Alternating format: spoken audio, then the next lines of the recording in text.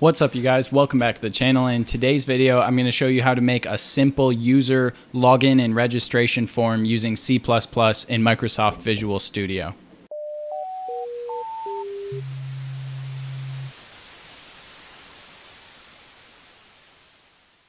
So this project is pretty simple but pretty cool and it has a lot of real world application because a lot of programs and projects that you're going to be building are going to have login applications where you want to store user data um, and you also want to be able to call that back in the future.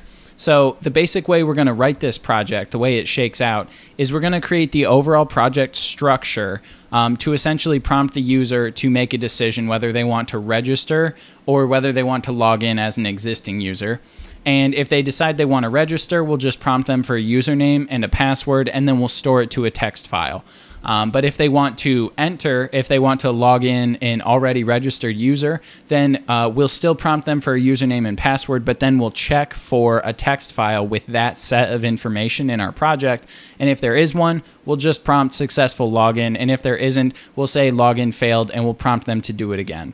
So those are the basic steps of the project. It's not going to take very long and it's going to use a lot of the concepts that we've already covered in C++.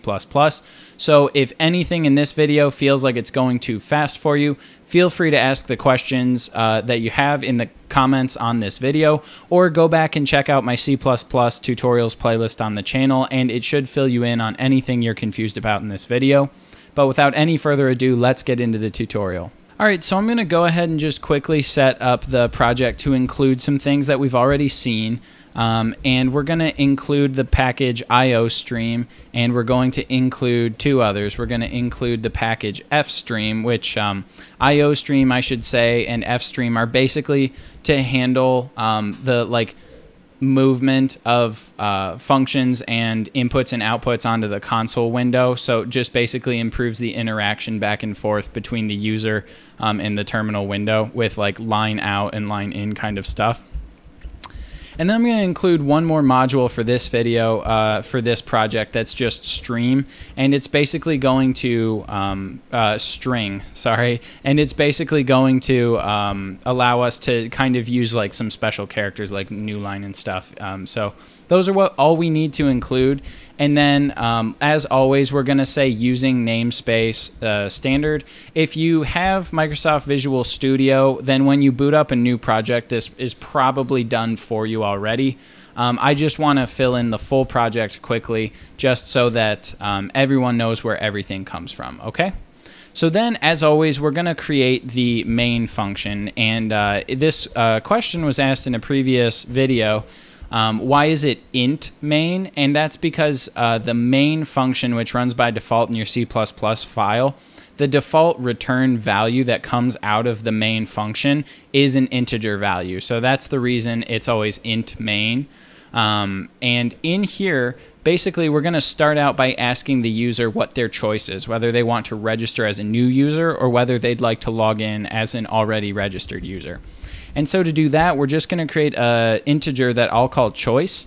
And we're going to print out instructions to the terminal that basically say um, select a choice one um, to actually let's say select a choice and then put this backslash uh, this new line character which is backslash n programmers familiar with other languages are probably familiar with backslash n that's pretty standard and we'll say one register and then we'll do another backslash n. So this will be on a new line now, and we'll say to login, and then we'll uh, ask them for their response on another new line. So then we'll say um, backslash your choice, and then a colon and a space, and that's where they'll actually enter the number that they want. Okay, and then on that. Uh, next line, we'll say cin is going to equal choice. So whatever they just entered is going to be um, choice. It doesn't have to be down here. That's one nice thing about C++ formatting. This code is going to run the same whether you put this on its own line down below or you add it as a continuation of this line. Um, because I try to keep the text pretty big for uh, my users so that's a little bit easier to watch on YouTube, my viewers.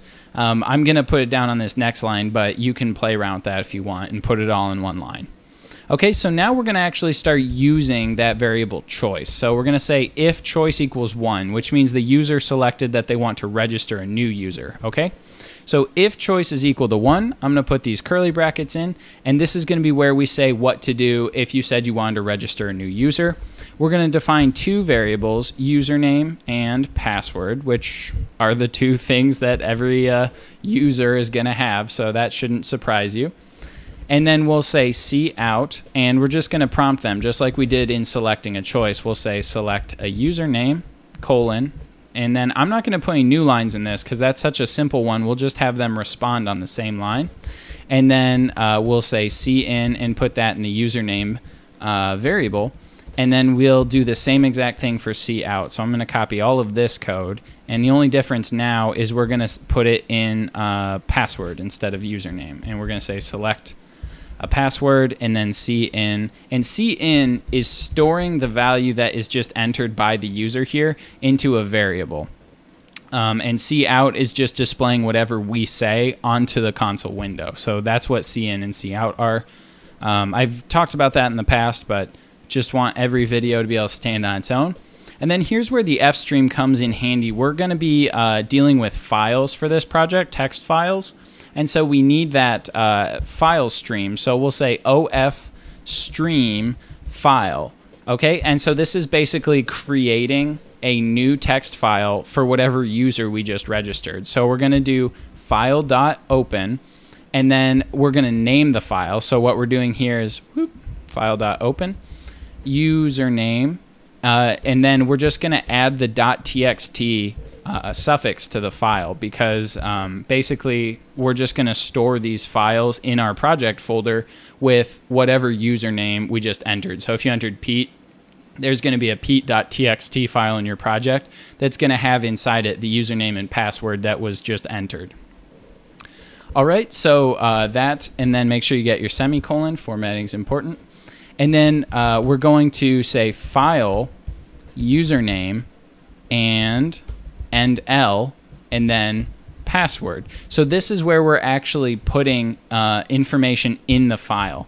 Uh, this is basically writing this information into the file, and then we just do file.close. That's how easy it is to create and store information in a text file with C++. Uh, the formatting's a little funky, but the actual code is pretty straightforward. You just create the file with file.open, and you name it with uh, whatever's in these parentheses, and then you just file and then these arrows, and then that's storing this information inside that file, and then close it up and it's saved. And what we'll do after that is we'll return to main. So that way you can register as many users as you want um, until you decide that you want to uh, log in. Okay, so this is it for registering new users. Um, now what we want to do is we want to come outside of these curly brackets because uh, if you remember, these curly brackets were for if choice is equal to 1. Um, so we're going to take this line and now we're going to say what to do if choice is equal to 2. So we come down here and instead of if now, it's going to be an else if choice equals 2, just like that. Um, and now we need more curly brackets. And in here, we're going to create a new variable that's going to say whether we've logged in successfully or not. So we're going to create a Boolean um, that I'll call status. And we're going to run this function that I'll call um, logging in, like that. Okay? And basically what I'm going to say is if not status. Okay? So this is basically saying if we haven't successfully logged in yet. Um, and you can see I'm getting the red squiggly in Microsoft Visual Studio because I haven't created the function yet. That's obviously what we're going to be doing next, but I want to kind of talk through how this logging in mechanism is going to work in the outside world. So basically, we're going to keep trying to log in until we get a status of one, which is successful login. So to do that, we'll say if not status and then uh, new curlies.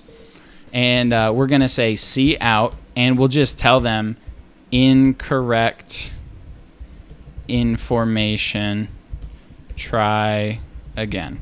Just like that. Um, and then we will end the line and semicolon. And then I'm going to throw this system pause in there. It just kind of is like a break to slow down your code because things move really fast in the computer world.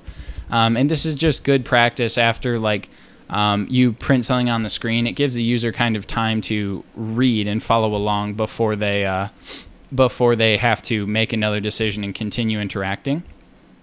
But then we'll make this else because the only way, uh, the only two things you can have for a Boolean are true or false. So we're basically saying if not, and then this is the same thing as saying else if status, like this. There's just no reason to type this in because the only thing you could have other than, well, it wouldn't be out here on its own. It would be, you know, in these parentheses. Um, but there's no reason to type it that way because the only thing other than not having status that you could have is having status. So um, we're going to uh, kind of take this same format of system pause and returning a variable. Except now instead we're going to be returning one and we're just going to say login successful just like that. Okay? Um, so this is all we need to do for processing the login, um, except we have to create the actual logging in function, obviously. Um, so let's go ahead and define this logging in. All right, and what I'm going to do is I'm actually going to come up near the top of my project, just under using namespace standard, and I'm going to create a new function that returns a Boolean and call it logging in, just like we said.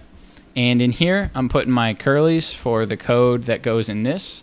And let's create our variables. So we're going to have uh, actually four variables in this function. Um, we're going to have, let me make sure that's why I called it down here, just logging in, just like that. Yep, okay, groovy. Um, alrighty, so in this function, we're going to have four strings. We're going to have the username and password from the text file, and then we're also going to have our entered username and password that I'll say user and pass. I'll make them shorter. Um, and so basically what we're doing is we're asking the uh, the user to put in their information and then we check through the text files in our project to see if we have a text file with that username. And then we're going to check if we do have a text file under that username. We check to see if the password matches what they've entered as the password. And if it does then we're going to return a 1 and say successful. Um, i should say because this is a boolean and i know we did return 0 and return 1 down here um, that that's because int main main is supposed to have an integer.